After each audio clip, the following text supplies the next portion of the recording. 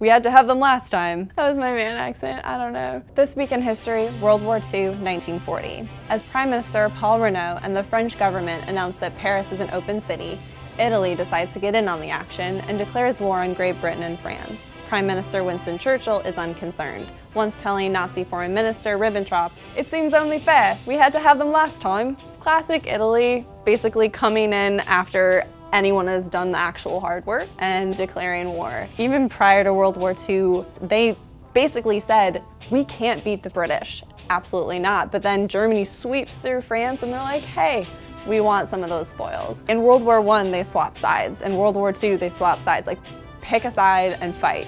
That's a little harsh, but that's my opinion. Joachim von Ribbentrop that's not his name. It's not Joachim. It's Joachim. I'm just gonna say Ribbentrop. Yeah. This is like so painful for me. Hello? Be sure to like and subscribe and check out our videos at HistoryNet.